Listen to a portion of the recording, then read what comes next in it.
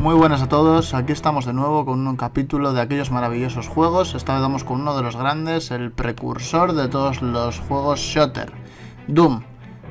Seguramente conoceréis Doom 2, Doom 3, Ultimate Doom. Bueno, vamos a hablar del Doom clásico, el primero de toda la serie, el que introdujo grandes, grandes cambios en el género de los shooters.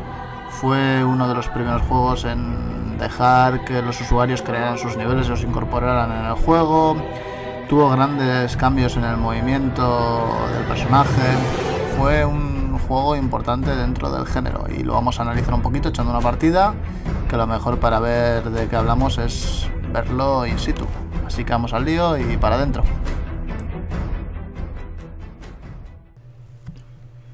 Bueno, pues una vez que entramos en el juego nos encontramos con este menú principal, muy básico, nuevo juego, opciones, cargar, grabar, salir, muy básico. Le damos a nuevo juego y esto nos deja elegir los episodios, imagino que sean todos niveles y el nivel de dificultad. Vamos a coger el del medio que es el normal. Bueno, característica básica del Doom.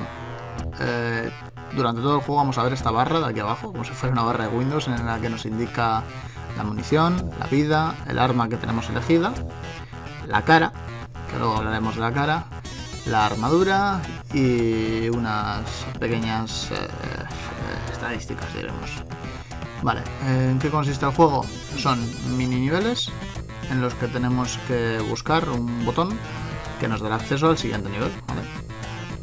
Entonces lo que hacemos es irnos moviendo por el mapa, cogiendo cositas de estas, que por ejemplo las botellas azules son vida, luego hay armadura, bueno, vas cogiendo cosas para que vayan subiendo esas estadísticas que tienes ahí abajo, ¿vale? ¿Veis cómo va subiendo la vida? Eh, novedades de Doom, novedades importantes. El movimiento, Es la primera vez, eh, bueno, que nos encontramos con un juego en tres dimensiones en la época. Estamos hablando del año, si no recuerdo mal, el 93, que ID Software, la, la marca de la distribuidora de este juego, saca un juego en 3D. Entonces el movimiento eh, es algo muy novedoso, ¿vale? El poder avanzar en profundidad, retroceder, girar es algo novedoso. Ahora mismo estamos acostumbrados a un movimiento del, teclado más ratón. En la época no se usaba el ratón, ¿vale? Tened en cuenta que este juego se desarrolló inicialmente para MS2. Entonces eh, nos movemos única y exclusivamente con el teclado. Adelante, atrás y los direccionales son para girar. Bueno, eh, novedades, más novedades que puede tener esto.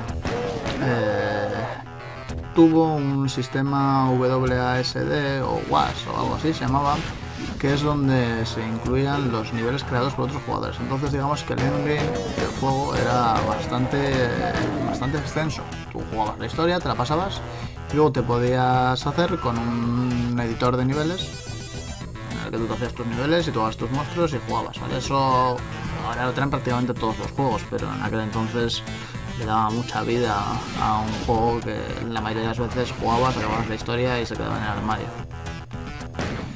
Más novedades, eh, distintos tipos de monstruos. Hasta aquel entonces lo que podríamos conocer como un shooter, que vendría a ser un, juego, un scroll lateral de plataformas de tiros. Los enemigos prácticamente siempre actuaban de la misma manera.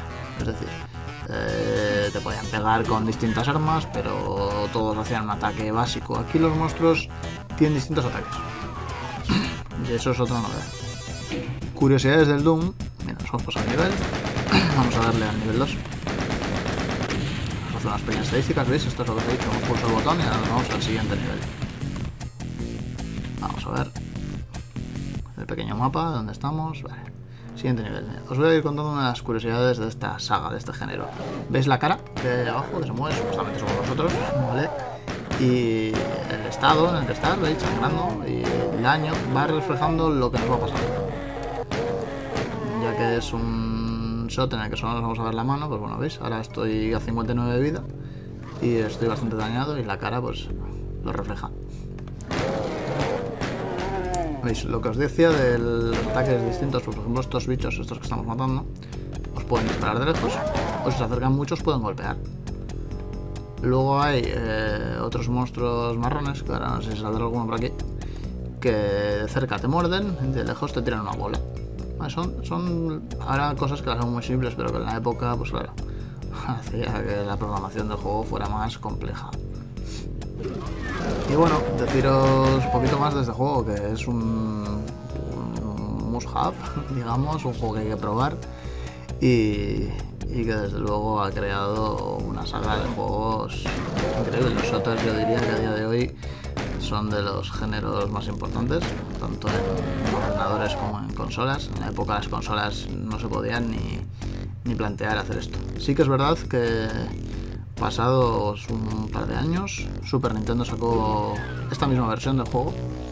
La consola no estaba preparada para, desarrollar juegos en 3D ni poder reproducirlos, pero el cartucho trajo un chip, no me acuerdo cómo se llamaba, no sé si fue chip FX o algo así, que permitió que la consola reprodujera los gráficos en 3D.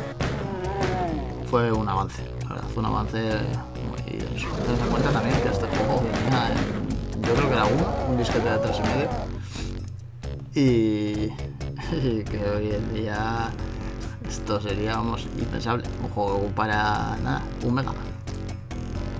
Y nada, os voy a dejar aquí un poquito con el final de la partida. Espero que os guste el vídeo. Espero que os esté gustando la sección con los juegos que hemos, que hemos estado disfrutando durante muchos años, los que somos old school, como digo yo, con mis amigos. Y nada, que nos vemos en el próximo capítulo y que os seguiré enseñando juegos interesantes de la historia de los videojuegos. Un abrazo y hasta la próxima.